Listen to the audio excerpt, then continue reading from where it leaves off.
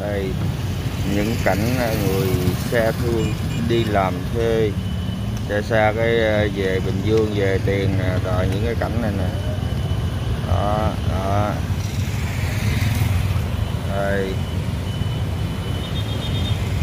À.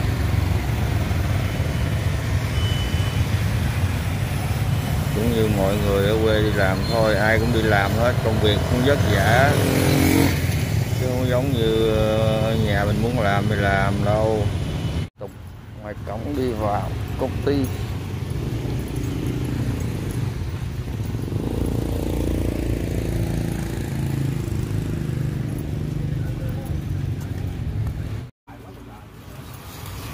Bốn phòng mà bốn ở ở bốn phòng? Bốn bài bốn bài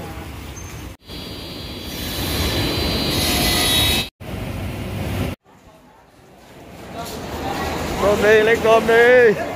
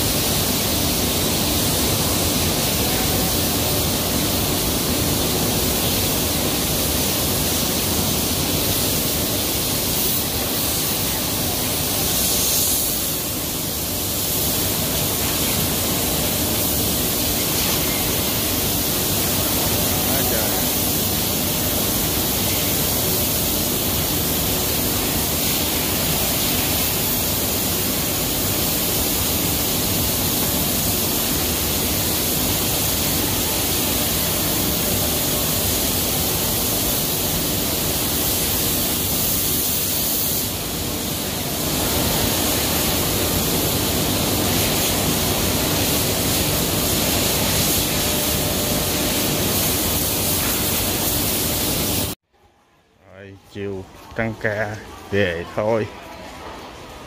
Hết giờ. Lại chen chúc nhau.